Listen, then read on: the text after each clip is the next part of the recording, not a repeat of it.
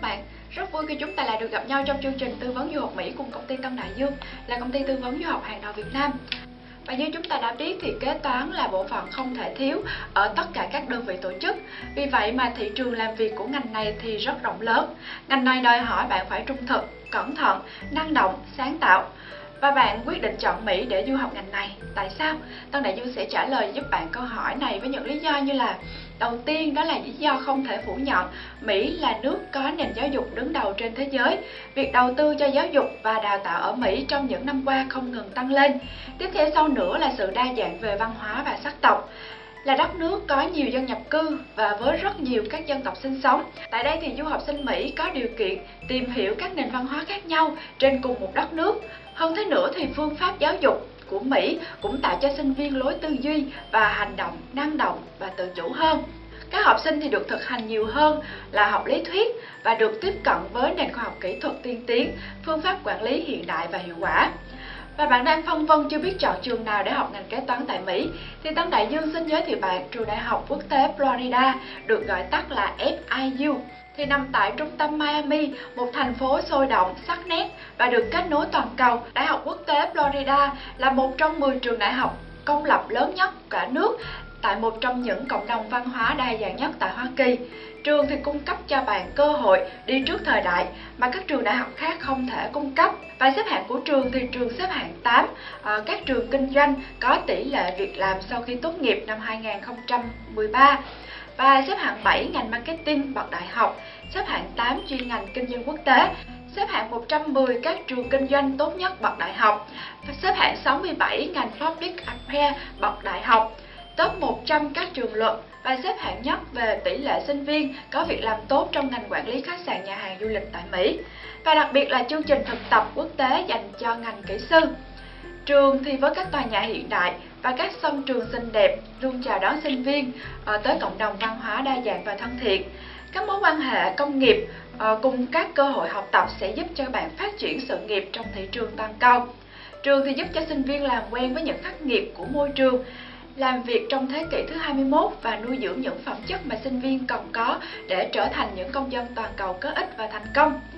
Và Tân Đại Dương xin mời các bạn tham gia với chúng tôi uh, tại trường đại học FIU để nhận được một nền giáo dục xuất sắc tại một thành phố kinh doanh với mức học phí rất là hợp lý. Về yêu cầu tuyển sinh là yêu cầu IELTS từ 5 chấm trở lên, lịch khai giảng là vào mùa thu, mùa xuân và mùa hè. Và mọi thắc mắc về chương trình học, học phí, học bổng ra sao của trường thì bạn có thể liên hệ ngay đến công ty Tân Đại Dương qua số điện thoại là 083 848 4879 hoặc đến trực tiếp địa chỉ là 148 1 Trần Quang Khải, phường Tân Định, quận Nhất để được chuyên viên tư vấn hỗ trợ.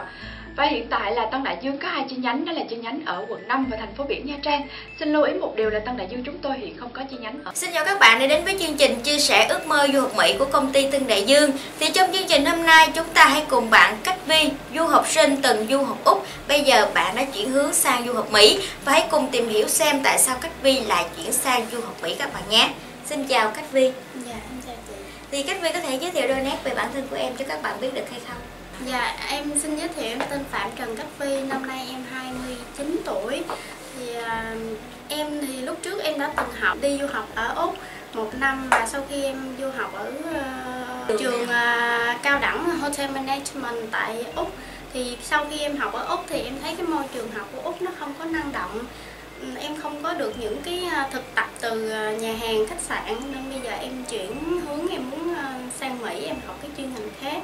và cái chuyên ngành em muốn học là ngành à, quản trị kinh doanh thì sau khi em học ở Mỹ à, em hoàn thành 4 năm khóa học ở Mỹ thì em sẽ trở về Việt Nam để em giúp ba em à, phát triển cái công việc kinh doanh hiện tại.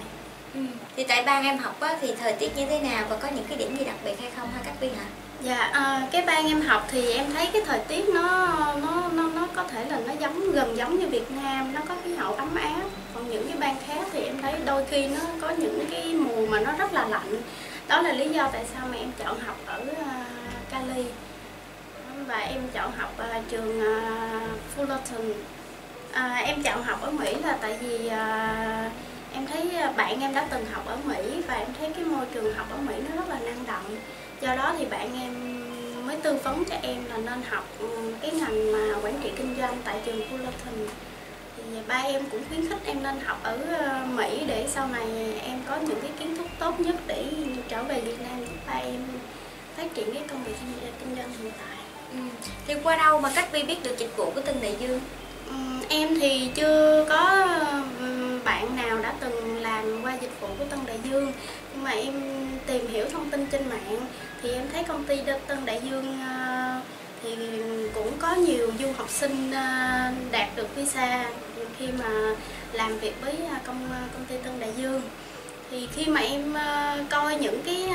cái bình luận của những bạn đã từng làm làm hồ sơ ở đây thì em thấy uh, cho em được những cái thông tin em rất là tin tưởng. Thì sau khi mà em tới với Tân Đại Dương thì em thấy mấy chị làm việc từ uh, bé Hương cho tới anh Bảo Anh và những cái anh chị khác giúp đỡ cho em rất là nhiều. Em thấy được cái cái sự chuyên nghiệp ở đây nên là em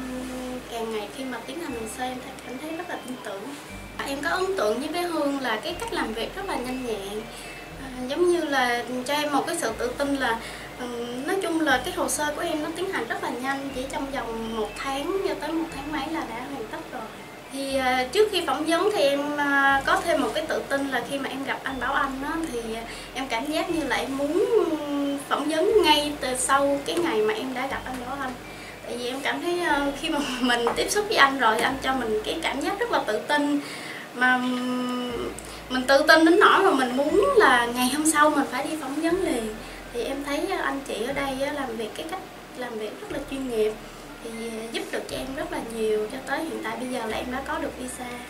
À, em cũng à, cảm ơn anh Khôi anh Khôi cũng ờ, à, hướng dẫn và chỉ cho em rất là nhiều để ờ, trước khi em đạt được cái ờ, cái nguyện vọng để đạt được visa. Nếu mà trong tương lai có bạn bè hoặc là người thân của em muốn làm hồ sơ đi du học hoặc là tất cả các nước khác trên trên thế giới thì em cũng tự tin một điều là em sẽ giới thiệu những anh chị nhân viên làm ở Tân Đại Dương cho có cái lòng tin để mà làm hồ sơ với lại ờ, công ty Tân Đại Dương. Thì ờ, Cách Vi đã vượt qua cái rào cản lớn nhất đó là có visa Mỹ. Thì ờ, Cách Vi có thể chia sẻ cho các bạn đang chuẩn bị xin visa thì có thể làm sao có được mà thành công như là Cách Vi.